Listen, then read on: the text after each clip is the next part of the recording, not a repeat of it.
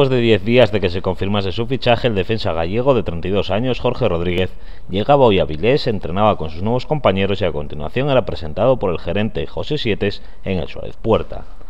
El nuevo jugador blanquiazul se mostraba muy contento de llegar a un equipo como la Vilés, ya que los blanquiazules cumplían todos los requisitos para él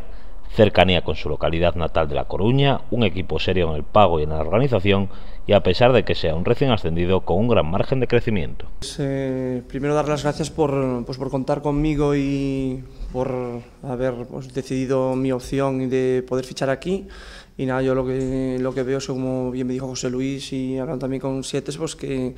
lo principal es la permanencia, porque acaban de ascender de tercera división y, y a partir de ahí que sea lo que Dios quiera. ¿no? Yo creo que el equipo lo, lo, está haciendo hasta ahora muy bien y bueno, yo creo que de eso se trata, ¿no? de que eh, un grupo pues, que entre en una buena dinámica al principio de año y que eso hace de que pues, a lo mejor... Eh, cosas que esperabas en un principio, pues que al final pues, se, se hace con creces y al final pues eh, apuestas más, más fuerte, ¿no? Y nada, yo lo que, lo que espero aquí, pues eso, lo que bien te dije antes, la permanencia y si puede ser playoff y, o Copa del Rey, pues mejor que mejor, ¿no?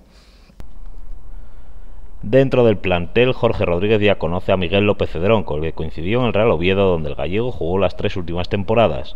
y las buenas referencias que tenía del vestuario blanquiazul las comprobó hoy en el primer entrenamiento con sus nuevos compañeros.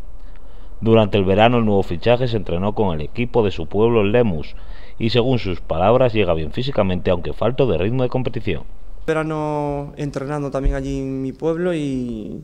con un equipo de allí del pueblo que se llama el, Lemos y entrando cuatro días a la semana y bueno, pues haciendo ejercicios también eh, físicos por, por, mi cuenta y de momento no creo que tenga problema para poder entrenar con mis compañeros, a lo mejor un poquito de falta de ritmo de competición, etcétera, pero lo demás físicamente me encuentro bastante bien. También reconoció que se le hizo muy largo el verano, ya que le faltaba ese gusanillo de saber que podías jugar el domingo, y por eso viene con muchas ganas de integrarse en el grupo y jugar muy pronto.